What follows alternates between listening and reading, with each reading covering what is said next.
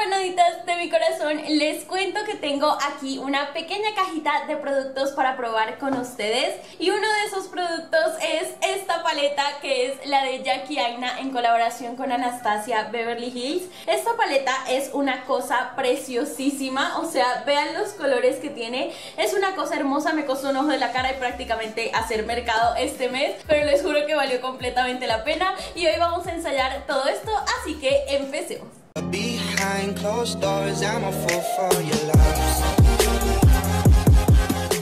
Y mis amores, vamos a empezar por el primer y esta vez no tengo un producto completo, sino una muestra y es una muestra de el primer de Tacha que se llama Silky Canvas. Ya lo probé una vez, agarré un pedacito y es una cosa demasiado deliciosa. Y cuando me lo quise ir a comprar me di cuenta que costaba como 220 mil pesos, una vaina así, un primer 220 mil pesos. Y yo no tengo esa cantidad de plata para gastar en un primer, así que nos vamos a disfrutar esta prueba. A ver si en serio me animaría a comprarlo.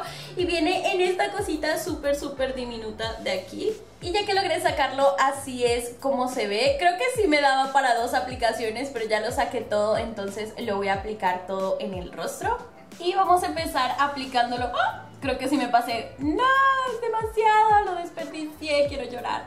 Voy a empezar solamente de un lado de la carita. Oye, aquí tengo un barrito que me está doliendo de una forma impresionante. Del mentón aquí como en el pliegue de la nariz que siempre se me hace súper súper reseco. Ven que ya tengo otra joya, ven qué cosita tan bonita. No sé si se fijaron en el anterior video que hacia el final del video se me cayó una bolita del piercing. Bueno, la nariz me la voy a poner completa porque hacer media nariz es como raro. Creo que en cámara no se aprecia bien, pero tengo la mitad de la cara levemente más matificada que del otro lado y la suavidad es una cosa impresionante. O sea, de este lado mi piel se siente como si llevara años y años cuidándomela y de este lado es como y se siente bastante agradable en cuanto a poros. Sí los disimula un poquito, los disimula como a la mitad del tamaño. Y no me creo que esté diciendo esto, pero el primer de AME los disimula mejor. Y ahora sí voy a aplicar lo que me queda del otro lado de mi carita Estuve viendo que hay un dupe de este en la marca ELF, si no estoy mal, y tengo muchas ganas de comprarme la versión de ELF, a ver si es medianamente parecida. Es que se siente delicioso, o sea, les juro que si tuviera la plata me lo compraría. O sea, se ve súper linda la piel, se ve suavecita, no sé si alcanzan a ver que tiene un brillo súper saludable, pero no es exagerado. Se ve divina. Y ya que tengo la piel más suavecita de lo que la he tenido en absolutamente toda mi vida, les quería mostrar una nueva esponjita. Y es que hace unos días me llegó un paquete de Mirelli porque Mirelli resucitó, o sea, no sé si se dieron cuenta que la marca como que se desactivó por mm, yo creo que más de unos seis meses, yo creo que mucho más de eso. Y ahora ya revivieron y ustedes saben que estoy en el grupo de Mirelli Lovers, pero lo que más me llamó la atención fue esta esponjita porque yo no sabía que Mirelli tenía esponjitas. Y con esta esponjita voy a ensayar el corrector de Colourpop que me pedí en un pedido que hice para la tienda. Me metí este corrector para ver si lo ensayaba. Este es el corrector favorito de Alice y de muchas personas y por eso me dio mucha curiosidad. Las dos veces que lo he utilizado, la verdad, si les soy muy honesta, todavía no me mata. Entonces voy a ver qué tal está la aplicación esta vez. Y así están mis ojeras en estos momentos. Sí están bastante oscuritas para lo que las tengo normalmente, pero no he dormido muy bien.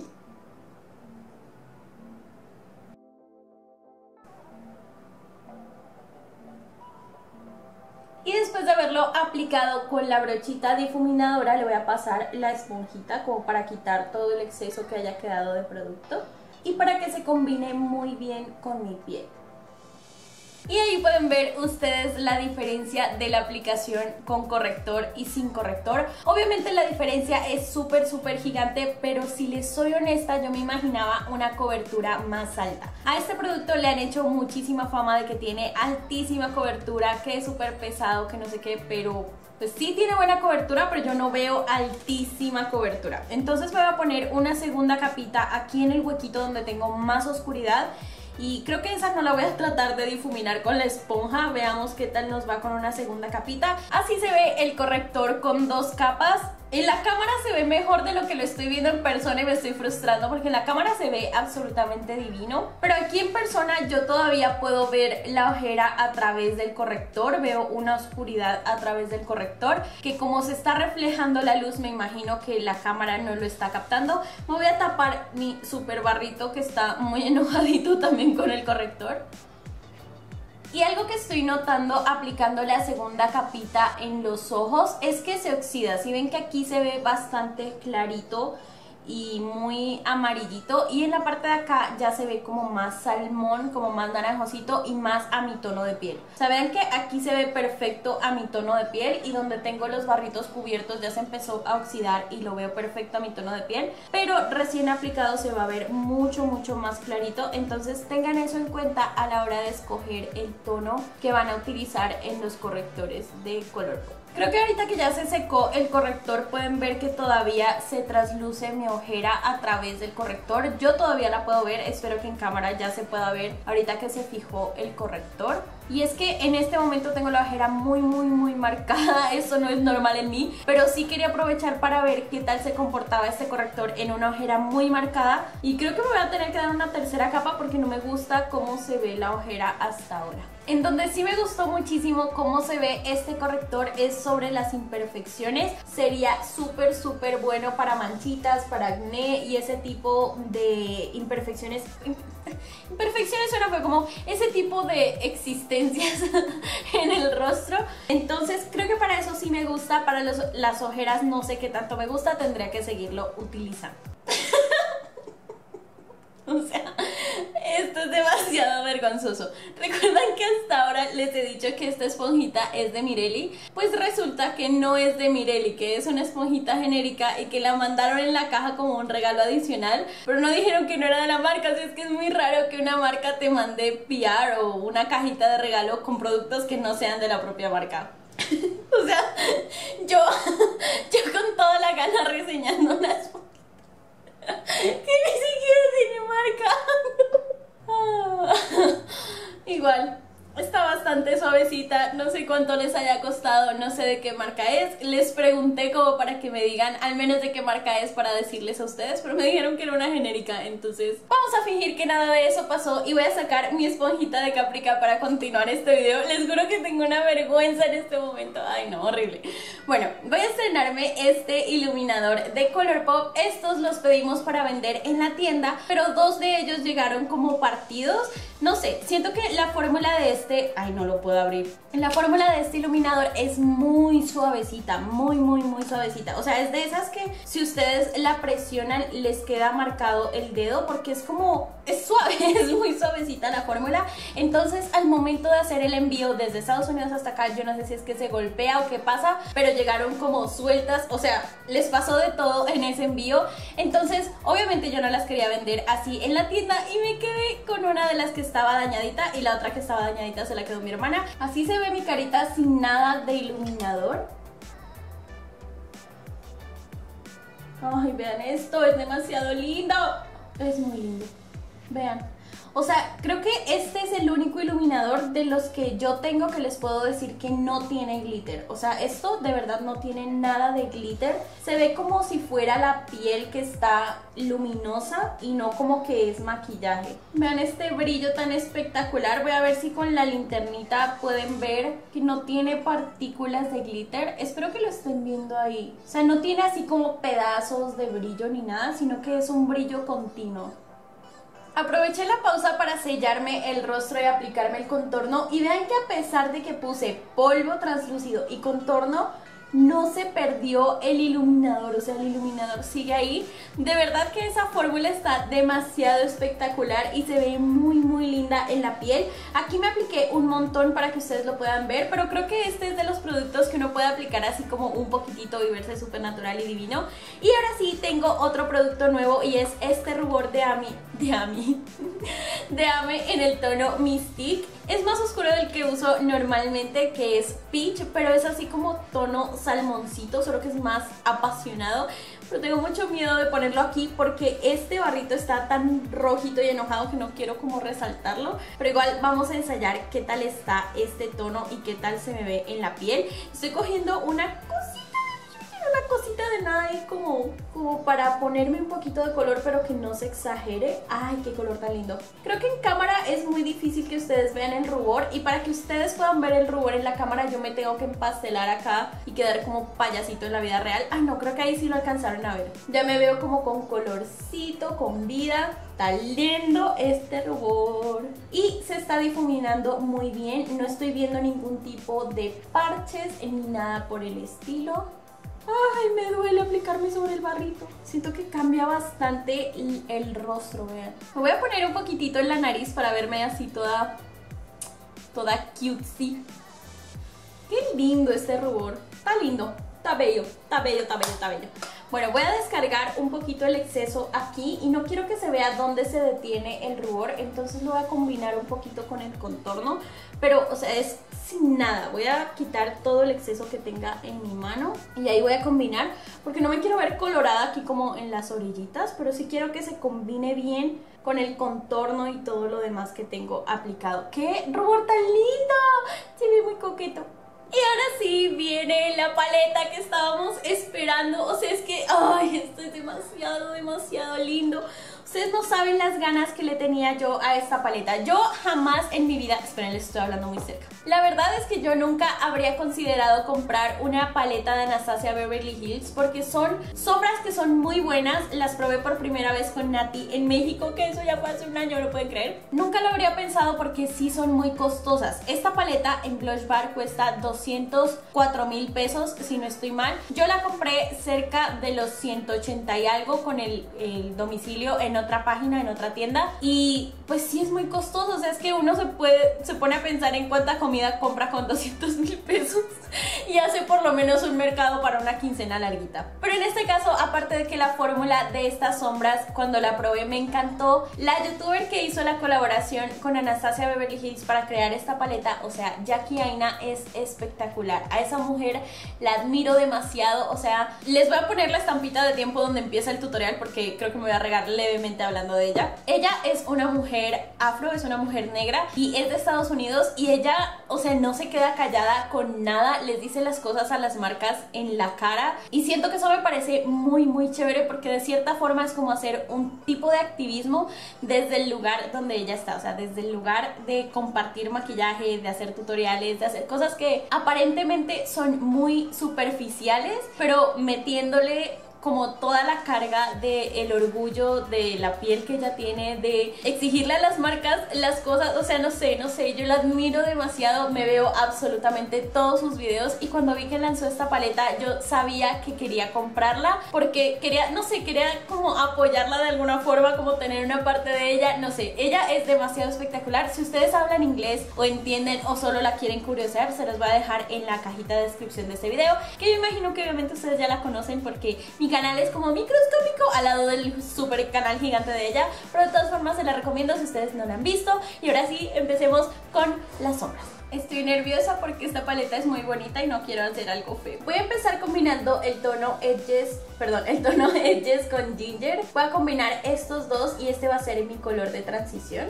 La fórmula de estas sombras es bastante polvosita, así que yo les recomiendo que siempre la golpeen en una superficie de la brochita como para que no vayan a tener caída. Y veamos qué tal nos funciona. Si ven un poquito de color ya en mi ojo fue por el contorno. Ahí tengo como unas arruguitas ahí.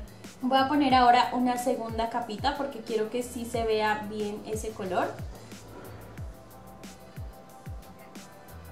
Y como pueden ver ahí estoy construyendo el color como muy fuerte en la parte de la cuenca y después lo voy a empezar a difuminar haciendo la formita alargada en la parte final del ojo.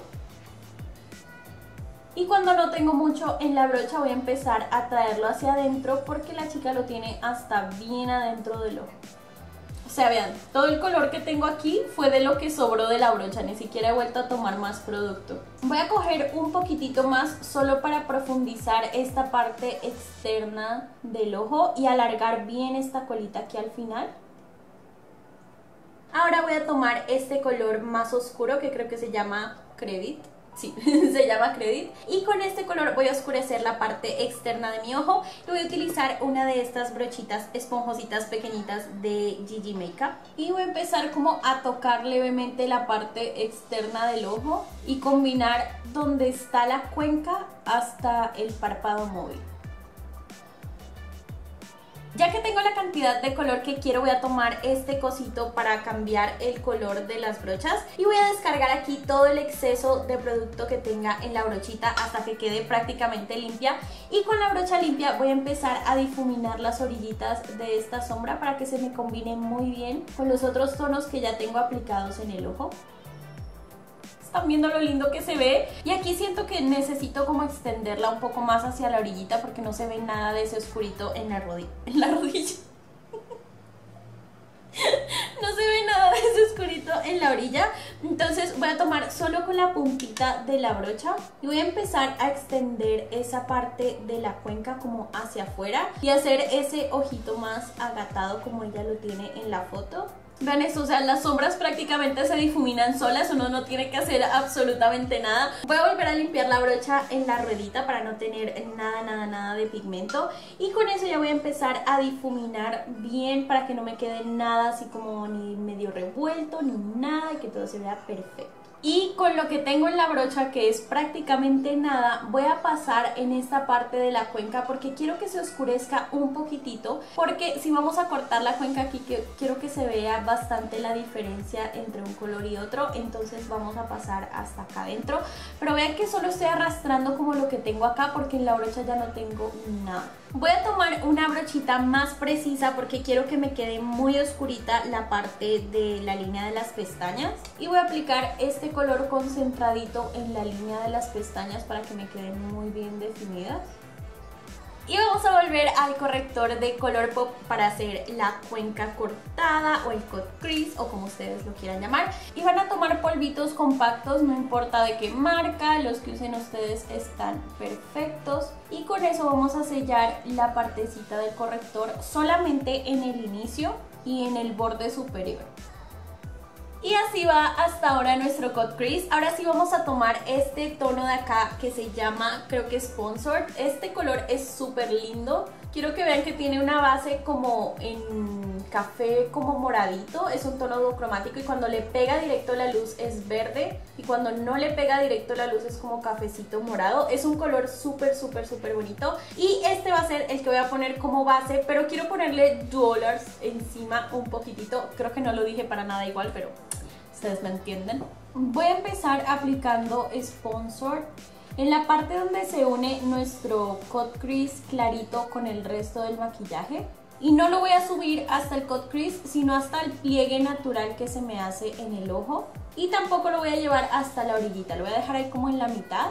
Y ya cuando no tengo mucho producto en la brocha voy a empezar a irme hacia adentro del ojo como en diagonal. Y voy a empezar a tocar las orillitas de este color para que se combine tanto con la parte oscura que tengo afuera como con el color medio que tengo en la parte de arriba y el color clarito que tengo en la parte de adentro. Solamente voy a empezar a hacer toquecitos, toquecitos, toquecitos y como es un poquito inevitable perder un tris de pigmentación voy a volver con el dedo y voy a tocar ahí donde siento que necesita un poquitito más de color pero nada en las orillitas porque las orillitas ya las y ahora sí voy a tocar la cantidad más diminuta de duolas en mi dedo. Me voy a poner como por encimita, pero una cosita así de nada, de nada, de nada. Como para que se vea más impactante este color. Saben que no puse nada, o sea, no, no me exageré, fue una, una cosita ahí diminuta. Y ahora sí, para la parte de abajo del ojo voy a tomar este tono fucsia que se llama Pinker y con una brochita de difuminar lo voy a aplicar desde la parte externa de mi ojo hacia la mitad más o menos. Pues es que no tengo ni siquiera palabras para describirles lo lindas que son estas sombras, o sea, se trabajan tan fácil. Y ahora sí, en la parte del lagrimal voy a poner este tono de acá arriba que se llama Soleil y voy a poner un poquito de Sam en la parte de aladito del lagrimal como para hacer la continuación con el rosado. Con el único color que estoy teniendo caída es con Sam porque tiene glitter, entonces ese glitter es el que me está dando caída. Voy a tratar de retirarlo con una brochita grande. Mm, sigue ahí. Ese es el único color que me ha dado caída hasta ahora y eso que estas sombras son bastante polvositas. Y voy a tomar un puntito nada más de Trust. Trust. ustedes saben que mi pronunciación es un asco. Trust Issues y lo voy a poner en todo el lagrimal como en la parte de adentro porque este color brilla un poquito más que Soleil y este es el que acabé de aplicar. Este es el que se llama Trust Issues y se llama así como problemas de confianza, no sé cómo traducirlo bien, porque se ve blanco ahí, pero en realidad es amarillo como doradito. No sé si lo alcanzan a ver ahí. No sé en qué parte del video se cortó la grabación, pero les estaba contando que voy a utilizar estos tres productos de AME. Voy a utilizar el delineador High World porque la vez que recreé este maquillaje en Instagram, ustedes me dijeron que por qué no me había delineado y tienen razón, así que me voy a delinear con este. Y en la línea de agua voy a utilizar el Crystal Babe y el tono dorado Bling Caramel para hacer como la parte de adelante clarita y la parte de acá más dorada. Ya me había aplicado el Crystal Babe en la parte de adentro y ahora sí me voy a aplicar el doradito que se me sigue olvidando cómo se llama, caramel algo en la parte externa. Ah, me duele tocarme donde está el barro. Pero ahora sí viene la parte difícil que va a ser delinearme los ojos en forma de colita de gato. Voy a intentar hacerlo, pero no voy a usar la brochita de este delineador porque se me dificulta agarrar este mango de aquí. O sea, la punta es punta plumón. Y sí me parece que la punta está chévere, pero no me gusta como agarrarlo así, entonces lo voy a estar aplicando con una brochita. Pues creo que para no delinearme los ojos muy frecuentemente, ese delineado quedó bien. Yo digo que no me los delineo frecuentemente y justo el anterior video me los delineé, pero les juro que no es frecuentemente. O sea, yo no me delineo si no es porque ustedes me piden que lo haga. Aquí tenía aplicado el delineador y lo puse con esta brochita biselada. Y la fórmula de ese iluminador delineador ya la había probado, de hecho la comparé con el de Sami y pasó algo muy chistoso y es que las chicas de AME me dijeron que no era justo comparar el delineador High World que era resistente al agua con el de Sami que era a prueba de agua y resulta que en los resultados, siendo redundante, el de High World, o sea el de AME se llevó por delante al de Sami 10.000 veces. Aunque el de Sami dice que es a prueba de agua, o sea, no resistente al agua, dice que es a prueba de agua, con una media lagrimita y parpadear ya se va, o sea, se empieza a correr, se mancha en la parte de abajo. En cambio, esta fórmula siento yo que es muy amigable para las personas que tienen párpado caído como yo, porque se seca casi inmediatamente al aplicarla y no tienen riesgo de hacer como que se pase hacia arriba o hacia abajo. Y también dura muchísimo y resiste mucho la fricción. Aguanta el agua un poquitito. Si ustedes le ponen agua y fricción, pues obviamente se va a ir, pero si está seco y tiene fricción, al momento de parpadear, sonreír o ese tipo de cosas que se nos pega el párpado si tienen el párpado caído, no se va a salir el delineador y eso me gusta mucho y resiste muy bien sin deslizarse, sin correrse, sin nada. Entonces, si ustedes tienen párpado caído y de verdad les gusta delinearse, sí les recomendaría este delineador. A mí es el único que me gusta hasta ahora porque no se me corre, pero como les digo, yo casi no me delineo, entonces pues no sé. Y ahora sí, vamos a probar este kit de cejas que me quedé con muchas ganas de probarlo en el anterior video. Y el kit de cejas viene así, la verdad la brochita que viene aquí no es muy buena, pero creo que eso es algo recurrente en todos los kits. Viene con una pomadita de este lado y dos sombritas normales del otro lado. Y con esto me voy a hacer las cejitas a ver qué tal nos funciona. No sé si en la cámara se va a captar, pero mis pelitos son como más grisáceos, por eso yo utilizo tonos como que se llamen topo o algo así. Y esta pomada es un poquito más rojiza, no sé si se alcanza a, ver ahí. Y voy a empezar a rellenar un poquito de los huequitos que veo con las cejas peinadas hacia arriba sin tocar la parte del inicio de la ceja. Ahora sí voy a peinar mis cejitas hacia abajo y empezar a hacer el trazo desde donde iría en teoría mi arco de la ceja hacia el final de la ceja, tratando de rellenar todo, todo, todo en el intermedio de las dos líneas. Y voy a tomar ahora el spoolie y voy a empezar a peinar la ceja para quitar todo el exceso de producto que tenga en las cejas. Y eso lo que va a hacer es de cierta forma manchar un poquito el spoolie y ya cuando está un poquitito manchadito con esa pomada voy a empezar a deslizarlo hacia la parte de adentro de la ceja y esa es la cantidad de producto que voy a poner al inicio. Creo que ahí ya que está toda la ceja aplicada van a poder ver que está un tris rojiza la pomada, o sea como se ve un poquito más naranjita mi ceja de lo normal. Pero la verdad es que de lejos no es muy notorio, entonces pues no me da tanto problema. Y ahora si veamos con cuál de estas sombritas lo vamos a sellar. Son sombritas que tienen un acabado levemente como brillantico, o sea son mates pero son cremositas. Este de aquí lo veo rojizo, que es el más oscuro, y este sí lo veo más grisáceo, entonces me voy a sellar con el tono clarito. Y ese tono lo voy a aplicar en todos los lugares donde veo que se ve muy rojiza mi ceja, como en la parte del inicio de la ceja y en la parte del arco de la ceja. El resto creo que se camufla muy bien, entonces no hay necesidad. Y así es como queda la cejita con el kit de Alice Academy. Obviamente la diferencia es del cielo a la tierra porque mis cejitas así normales como que no tienen mucha forma. Y como pueden ver yo les hago el arco más marcado porque aquí se ven como más caídos mis ojos. Entonces sí me gusta cómo queda, se ve un tris rojizo. O sea, creo que si lo comparan con mi pelo, ven que acá mi pelo es como frío, como oscurito y frío y acá se ve bastante cálida la ceja. Esa es como la única anotación que tendría porque en pigmentación y eso está bastante bien. Y mis amores, así se ven finalmente todos los productos que ensayamos el día de hoy todos juntos en mi carita. La verdad es que están demasiado lindos todos, creo que todos me gustaron muchísimo. El único como que me dejó pensando fue el corrector de Colourpop, pero creo que lo tengo que usar más y ensayar más a ver qué tal me va. Pero todo el maquillaje siento que se tan lindo. Espero que este video les haya gustado. Recuerden, les haya, dije, les haya gustado. Recuerden que las amo con todo mi corazón y nos vemos en el siguiente video. ¡Chao!